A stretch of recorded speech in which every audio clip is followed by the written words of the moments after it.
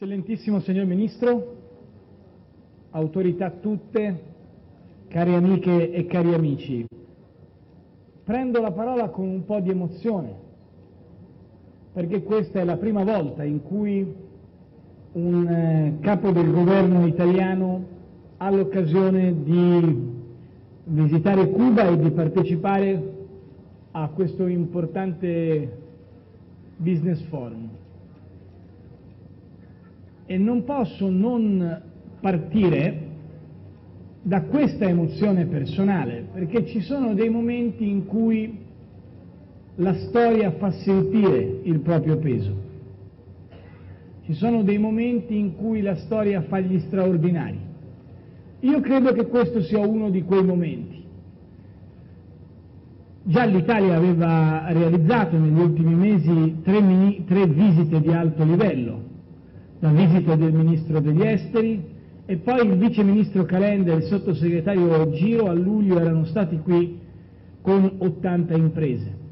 E ancora l'allora Ministro degli Esteri aveva programmato una visita alla Ministra Mogherini che poi è stata tenuta qualche mese dopo con una nuova veste perché, come sapete, la Ministra Mogherini è stata chiamata a un importante incarico alla guida della diplomazia europea. Dunque c'è una grande attenzione del nostro governo, ma questa attenzione nasce e si inquadra oggi in un momento di cambiamento rilevante e sono molto fiero e felice che il presidente Raul Castro abbia avuto modo di eh, dedicare del tempo nella sua visita romana a un bello scambio di opinioni e valutazioni domenica 11 maggio scorso.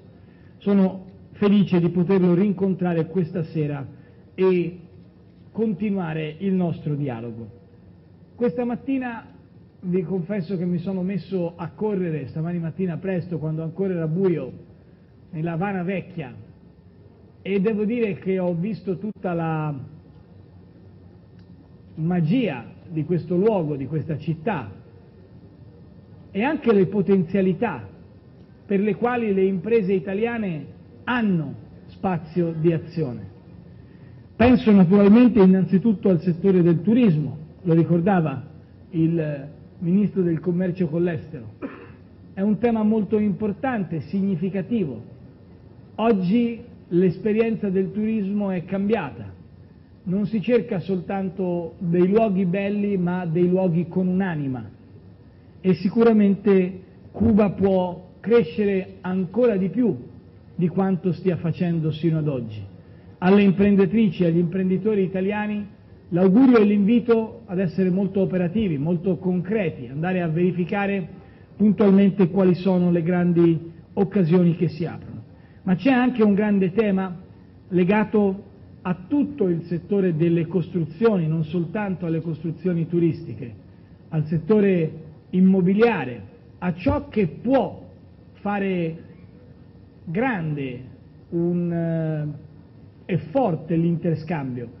Io, signor Ministro, solitamente sono abituato, quando vado all'estero, a raccontare quanto è grande la cultura italiana e oggi potrei dire quanto sono interessato alla cultura cubana, perché penso che per il nostro Paese l'elemento chiave sia proprio la forza culturale non è un caso che negli scambi di cooperazione, ho visto qualcosa intorno alla piazza di San, Francisco, di, di, di San Francisco questa, questa, mattina, ma anche all'iglesia dietro, che adesso è diventato un museo, mi hanno spiegato l'intendente come funziona il meccanismo di cooperazione internazionale, bene, in questa, in questa cooperazione c'è molto di Italia. Tuttavia, quello che mi colpisce da quando guardo le statistiche e faccio questo nuovo lavoro è che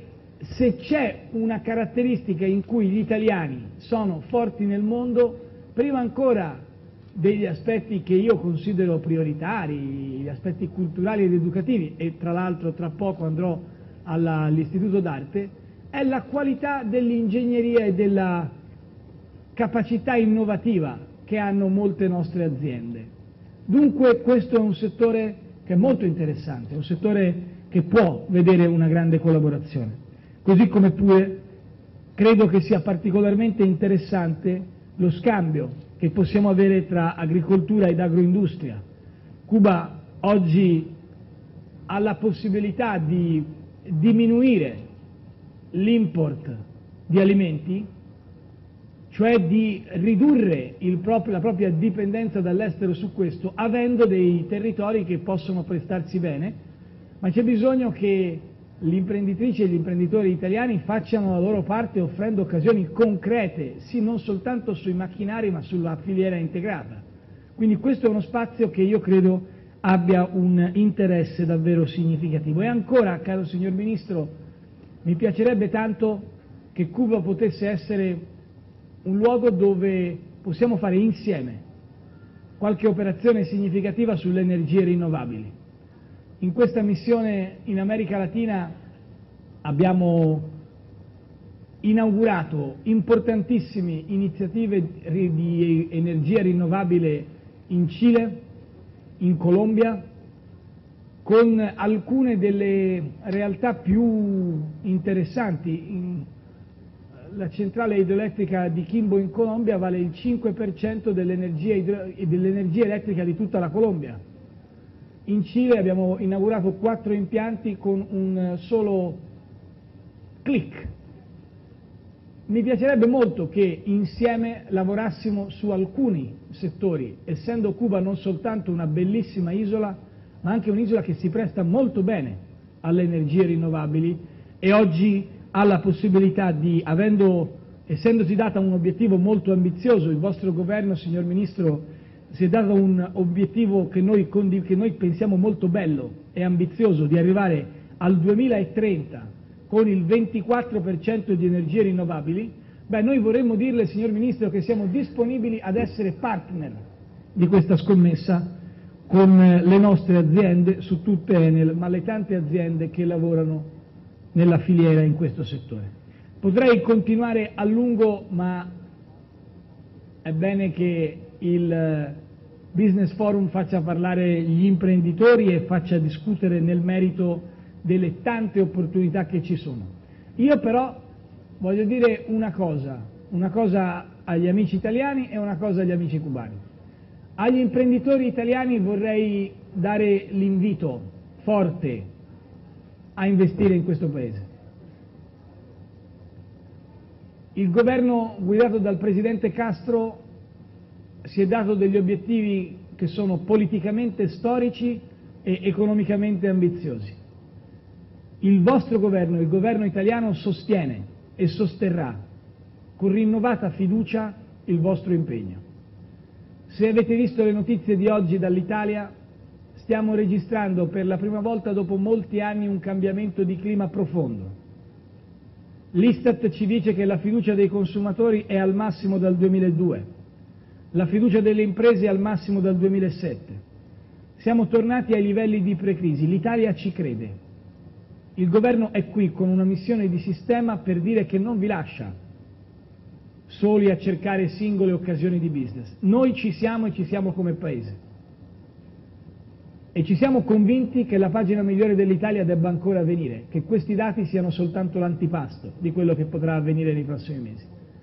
Agli amici cubani voglio dire innanzitutto grazie per averci accolto con eh, la consueta amicizia che caratterizza la storia di tanti anni, pur tra le difficoltà, pur tra mille problemi, c'è tra Italia e Cuba un eh, sentimento particolare, un feeling notevole che abbiamo sempre sentito come vero.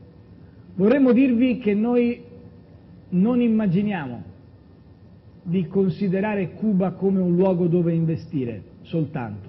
Certo, insieme anche questo, ma innanzitutto vogliamo considerarlo come un luogo dove vivere un rapporto di amicizia profondo perché pensiamo che anche nei momenti in cui la storia fa gli straordinari, anche nei momenti in cui si scrivono pagine rilevanti che racconteremo ai nostri figli e ai nostri nipoti, anche in quei momenti ciò che conta è innanzitutto il rapporto tra i popoli e un'idea di amicizia che io sento profondamente vera quando parlo con gli amici cubani e che penso che l'Italia possa rappresentare e possa in qualche modo anche incoraggiare l'intera Unione Europea ad avere come chiave di lettura nei nostri rapporti. E allora ci sono tanti artisti, intellettuali, imprenditori, non si è mai interrotto il filo del rapporto tra cubani e italiani, italiani e cubani. Oggi che i due governi fanno un investimento di sistema sul futuro di questo rapporto e di questa partnership, sono assolutamente convinto che potremo ottenere dei grandi risultati, a condizione naturalmente che accanto al sostegno e all'impegno dei governi ci sia la volontà di fare progetti concreti e di seguirli. Grazie di cuore.